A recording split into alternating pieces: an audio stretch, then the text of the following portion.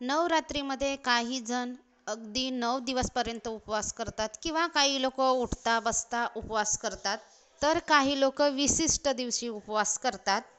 पण या नवरात्रीच्या उपवासाला कोणते पदार्थ खाव खावेत आणि कोणते पदार्थ खाऊ नयेत हे उपवास कसे करावेत? चला तर मग जाणून घेऊया आजच्या व्हिडिओमध्ये. तर त्यापूर्वी व्हिडिओ बघण्यापूर्वी व्हिडिओला लाईक करा आणि चॅनलवरती नवीन असेल त्यांनी चॅनलला सबस्क्राईब करा. तर व्हिडिओ कंटिन्यू बघा. नवरात्रीच्या उपवासातही अनेक प्रकार आहेत. काही लोक या नऊ दिवसात फक्त पाणी घेतात तर काही फळे खातात आणि काही लोक दिवसातून एक वेळ खातात. सिंगाड्याचे पकोडे साबुदाणा वडा आणि साबुदाणा खिचडी या नवरात्रीच्या काही लोकप्रिय पाककृती आहेत. या लेखात उपवासाचे सर्व नियम आहेत जे तुम्हाला माहीत असले पाहिजेत. जेणेकरून तुम्हाला समजेल तुम्ही काय खाऊ शकता किंवा काय टाळावे लागेल. चला तर मग जाणून घेऊयात. नवरात्रीतील वेगवेगळ्या पदार्थांचा घ्यावयाचा आस्वाद. नवरात्रीच्या काळात हिंदू भक्त देवी दुर्गाला प्रसन्न करण्यासाठी आणि आशीर्वाद घेण्यासाठी नऊ दिवस उपवास करतात.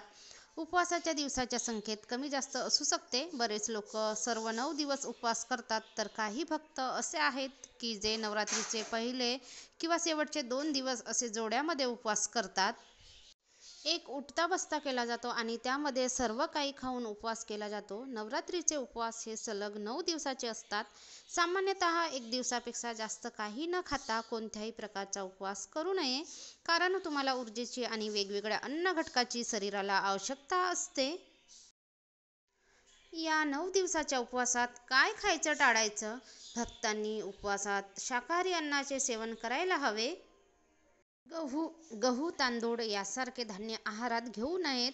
शिंगाड्याचे पीठ किंवा राजगिरा पीठ साबुदाण्याचे पीठ यांचा तुम्ही आहारात समावेश करू शकता. नंबर तीन आहे नवरात्रीच्या उपवासात तुम्ही फळे आणि सुकामेवा खाऊ शकता. काही भक्त केवळ फळ आणि दुधावर नऊ दिवस उपवास करतात. बटाटा रताळी अरबी सुरण अर्धा पिकलेला भोपळा किंवा कच्चा भोपळा यासारख्या काही भाज्यांना नवरात्रीच्या दि दिवसात पसंती दिली जाते. नंबर चार आहे उपवासादरम्यान दूध आणि दुग्धजन्य पदार्थ जसे पनीर लोणी तूप मलई किंवा दूध आणि खव्यापासून बनलेले पदार्थ तुम्ही वापरू शकता ते उपवासाला चालतात.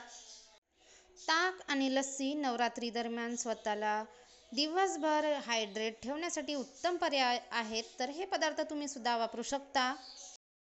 नवरात्री दरम्यान स्वयंपाक करताना कांदा लसूण आणि हळद धने यासारखे मसाल्याचा वापर टाळावा. इतर उष्णता निर्माण करणारे पदार्थ आणि मोहरीचे तेल किंवा तिळाचे तेल देखील टाळावे तेलऐवजी देशी तुपाचा तुम्ही वापर करू शकता. घरात नेहमी स्वच्छ वातावरण असावे. घरात भांडण आणि कलहाचे वातावरण नसावे. अनेक भक्तगण देवी देवतांना प्रसन्न करण्यासाठी तर काही जण पोटाला आराम देण्यासाठी या दिवसात उपवास करतात. काही जण निर्झडी तर काही अनवाणी पायाने हे उपवास पूर्ण करतात. बहुतेक लोक दोन वे दोन्ही वेळ फराळ आणि एक वेळ फराळ करून नवरात्रीचे उपवास करतात. तर काही लोक दोन्ही वेळा फराळ किंवा एक वेळ फराळ करून नवरात्रीचे उपवास करतात. नवरात्रीचे उपवास करताना काही नियम लक्षात घेतले तर पूर्ण फलप्राप्ती होऊ शकते. तर अशा प्रकारे नवरात्रीच्या उपवासाचे नियम आहेत जे प्रत्येकाने लक्षात ठेवले पाहिजे. नवरात्रीत सामान्य मीठ वापरत नाहीत. नवरात्रीच्या काळात स्वयंपाकासाठी पर्याय म्हणून रॉक मीठ किंवा सेंधव मीठ वापरतात. मसाल्यामध्ये तुम्ही जिरे किंवा जिरे पावडर का काळी मिरी हिरवी वेलची लवंग दालचिनी अजवाईन काळी मिरी कोरडे डाळिंब कोकम चिक्क चि चिंच आणि जायफळ वापरू शकता. काही लोक ताजी कोथिंबीर लाल मिरची पावडर सुक्या कैरीची पावडर चाट मसाला इत्यादीचाही वापर करतात. तर आपल्याला नवरात्रीच्या उप नवरात्रीचे जर व्रत करत असाल उपवास करत असाल तर काही नियम लक्षात ठेवले पाहिजेत जेणेकरून आपल्याला इच्छित फळ मिळेल आणि अवश्य फळ मिळतो जर आपण नियमानुसार वागले तर. तर अशा पद्धतीने आजचा व्हिडिओ होता. तर आजचा व्हिडिओ तुम्हाला कसा वाटला आवडला असेल तर लाईक करा कमेंट करा आणि चॅनलवरती नवीन असतील त्यांनी प्लीज चॅनलला सबस्क्राईब करायला अजिबात विसरू नका. तर भेटू पुन्हा अशाच एका यूजफुल आणि नवीन माहितीपर व्हिडिओमध्ये. तोपर्यंत सगळ्यांना बाय बाय टेक केअर आणि जय माता दी हॅपी नवरात्री तुम्हाला सुद्धा सगळ्यांना माझ्या व माझ्या परिवारातर्फे सगळ्यांना नवरात्रीच्या खूप खूप शुभेच्छा.